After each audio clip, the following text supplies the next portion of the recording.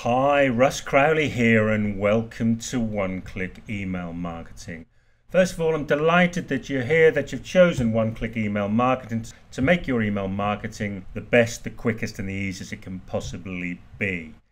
Now, once you've logged into the members area and you've downloaded the One Click Email Marketing installation file, now whether you've purchased the personal version or the professional version, the, the setup is, is exactly the same download it to your desktop as I've done here. And the, the, important thing here is that you're either logged in or can run it as an administrator. Now, this is very important because of the licensing. And if you don't do it like that, then you will have problems with the licensing. So you must run it as an administrator. I can't emphasize that enough, okay? But the rest is pretty easy. But I'm going to have to walk you through it because if you've been using Word for some time and you, you haven't used any of our other one click products, then this will be new to you, okay?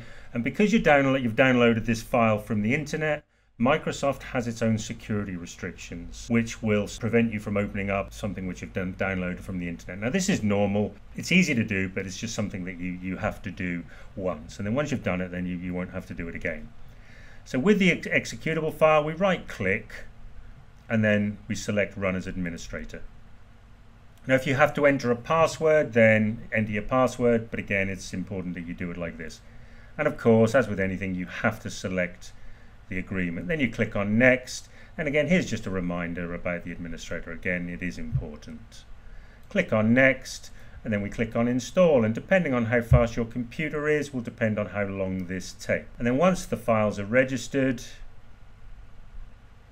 give you some information about watch the installation video for the system you're using. Now, you're obviously watching this video, so you found it, but here's a link to our one-click book creation YouTube channel. I'll replace this link with a link to the actual one-click email marketing installation video, but again, it's on our one-click book creation YouTube channel. Then we click on next, and then we get completing the wizard.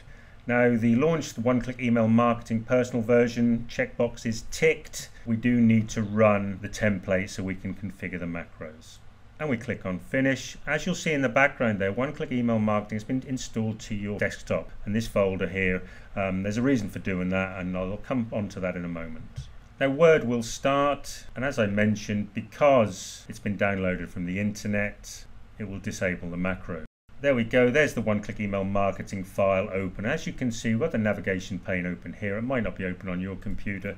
And we've got this one page here with the image. Please don't delete the image because then the template won't run. But what's important here is we have this security warning, macros have been disabled. Now I could enable the content, but I need to walk you through what we need to do. Now if you're on an older version of Windows, let's say um, Vista, or no, I think, yeah, Vista or Windows 7. I'm on Windows 7. Then you'll get this message here, security warning, and it says Trust Center settings. But the other way, you can access Trust Center settings just by clicking on this link here.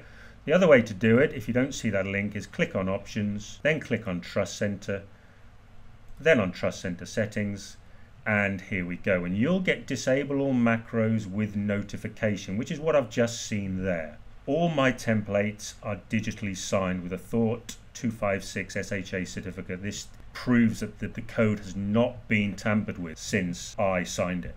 So we need to select this option, disable all macros except digitally signed macro. What we also need to do is we need to come into trusted locations because we've installed the folder to the desktop. This has certain security restrictions around it. So in trusted locations, select add new location then click on browse and then you just need to go to your desktop and then select one click email marketing. Then select OK. I would if I was you I would select subfolders of this location are also trusted because when you're creating multiple sequences then you can create each of them as a subfolder keep track of them. And then this will also trust these folders and allow the macros to run. So then we click on OK. Then we click on OK and then we click on OK. And now I can enable the content and then the one-click email marketing form will run. There's a chance you might actually have to save and close down your document and then reopen it in Word, okay, depending on your conf actual configuration on your PC. But when you see this form, it's configured correctly. In the next video, we'll look at creating an autoresponder sequence.